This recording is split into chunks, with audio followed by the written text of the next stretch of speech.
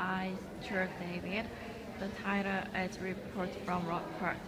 He painted the city. Um, you can see there's garage and some buildings and some other stuff. Um, the color he used was like black, red, white, yellow, orange, red, purple. I mean, there's so many colors, but I really like it because even though he used so many color, it fits really well with each other. Um, I also like the lines that he drew, especially this one, this line.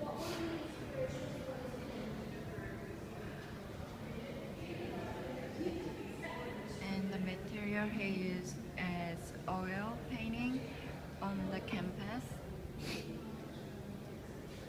I think this painting is a little bit complicated, but its composition is really well.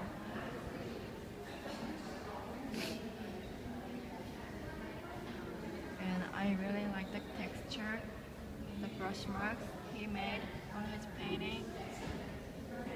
It feels a bit rough, rough, but.